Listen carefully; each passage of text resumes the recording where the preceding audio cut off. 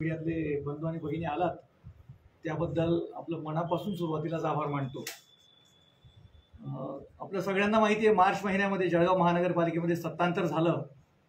वडे बाजार असेल प्रलोभनं असतील दिशाभूल असेल या सगळ्या गोष्टींचा वापर करून सत्तांतर झालं आणि विरोधात बसलेला शिवसेना हा पक्ष सत्तेमध्ये आला. आमच्या शिवसेनेच्या भगिनी महापौर झाल्या. लोकशाहीमध्ये सत्ताधाऱ्यांबरोबर विरोधी पक्ष देखील महत्त्वाचा असतो. आणि आपल्या संविधानिक आणि लोकशाही व्यवस्थेनं विरोधी पक्ष नेतापद हे देखील एक महत्वाचं पद काढलंय. हे पद अत्यंत जबाबदारीचं असं पद असतं. आणि लोकशाही व्यवस्थेला आणि संवैधानिक व्यवस्थेला मजबूत करणारं हे पद आहे.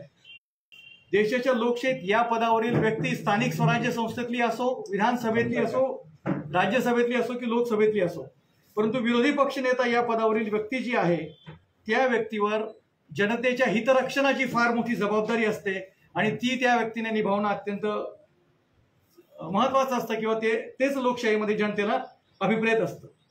सत्ताधारी पक्ष हा संख्याबलाने बदलला पण विरोधी पक्ष नेतेपदी महापौरपदी श्री सुनील महाजनजी हे मात्र खुर्ची सोडण्याची नैतिकता आजपर्यंत दाखवू शकले नाहीत.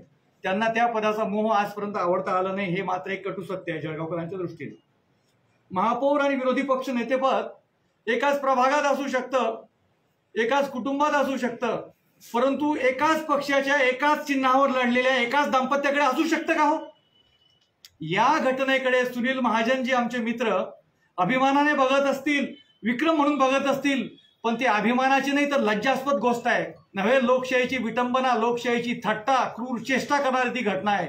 आणि त्या दृष्टीनंच त्याच्याकडे आपण माध्यमांनी देखील आणि जनतेनं बघितलं पाहिजे असं मला म्हणायचं आहे हे जळगावकरांच्या दृष्टीनं अत्यंत दुर्दैवी आहे की महापौर आणि विरोधी पक्ष नेते हे परस्पर विरोधी जे पदं आहेत संवैधानिक व्यवस्थेतली ती एकाच पक्षाच्या एकाच चिन्हावर निवडून आलेल्या एकाच कुटुंबातील दाम्पत्याकडे असणं हे अत्यंत जळगावकरांच्या दृष्टीने दुर्दैवी आहे. विरोधी पक्षनेता या पदाची गरिमा राखण्यासाठी काही कर्तव्य लोकशाहीमध्ये अभिप्रेत असतात.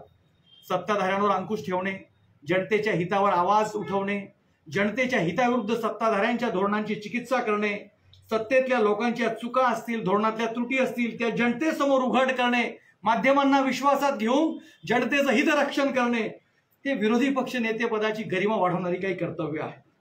एकदा सत्ता मिळाल्यावर सत्ताधारी निरंकुश होऊ नये म्हणून आपल्या संवैधानिक व्यवस्थेमध्ये या पदांची निर्मिती आहे आणि जनतेच्या हितांची पायमल्ली होऊ नये हा त्यामागचा मूळ उद्देश या आपल्या संवैधानिक व्यवस्थेने निर्माण केलेल्या या पदाच्या मागे मूळ उद्देश आहे.